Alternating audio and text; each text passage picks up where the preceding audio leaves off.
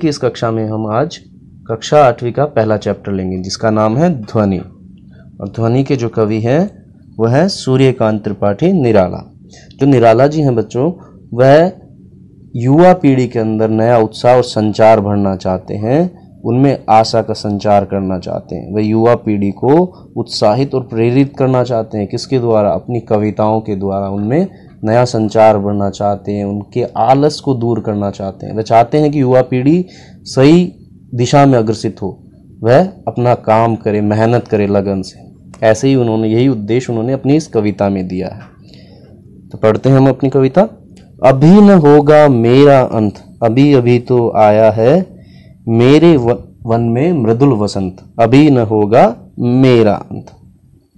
इसमें कवि कहता है कि जिस प्रकार वसंत ऋतुओं का राजा है, उसी प्रकार उसके जीवन में युवा काल अभी आया है। तथा उसका कवि जीवन अभी अभी शुरू हुआ है। कहने का ये तात्पर्य है कवि का कि कवि के जीवन में आशा का संचार अभी हुआ है। उसका मन उत्साह और उमंगों से भरा हुआ है। उसका अंत अभी नहीं होने वाला। और वह इसको आगे बढ़ाना चाहता है, इस वसंत ऋतु को, यानी अपने जीवन काल में जो कवि जीवन आया है, उसको आगे बढ़ाना चाहता है, वह उससे बहुत आगे तक ले जाना चाहता है। अब इसमें जैसे हमारे एक शब्द था, मृदुल। मृदुल का अर्थ होता है कोमल। ठीक है बच्चों?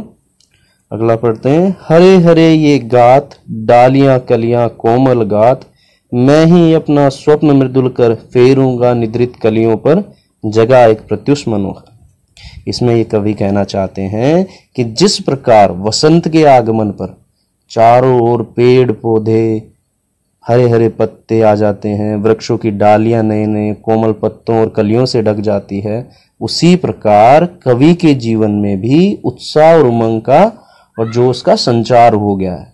वह अपने जीवन के इस उत्कर्ष काल में अपनी रचनाओं के द्वारा, अपनी रचनाओं के द्वारा युवा पीढ़ी के अंदर उत्साह और संचार भरना चाहते हैं। ठीक है बच्चों?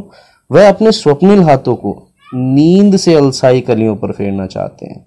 यानी वे अपने हाथों से, अपनी रचनाओं से, जो युवा पीढ़ी है, उसको जगाना चाहते हैं, उसमें उत्साह भरना चाहते हैं वे। ठीक है?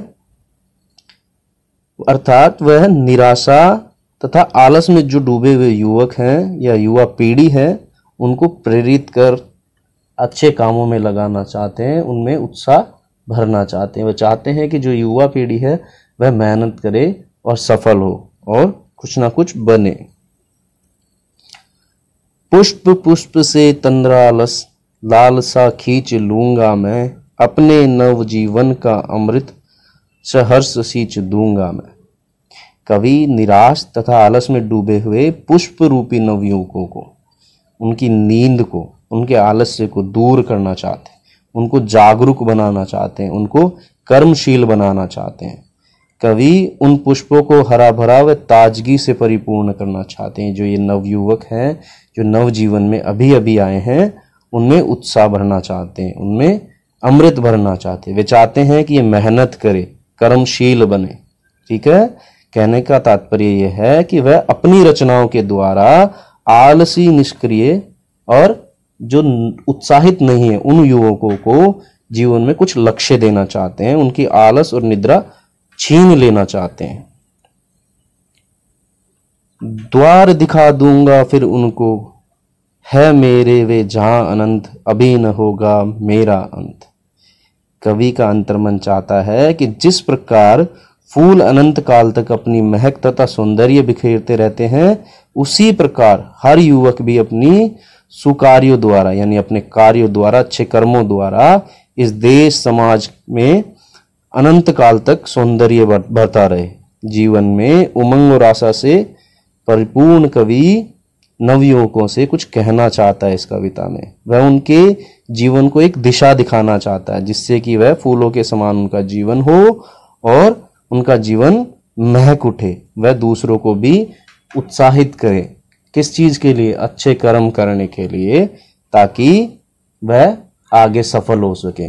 इसीलिए कवि कहता है कि अभी न होगा मेरा अंत, क्योंकि अभी अभी उन्होंने लिखना आरंभ किया ठीक है बच्चों तो इस कविता के अंदर सूर्यकांत त्रिपाठी निराला जी क्या कहना चाहते हैं? वह युवा पीढ़ी को एक संदेश देना चाहते हैं कि कर्मशील बनो, उठो, मेहनत करो, आलस को त्यागो।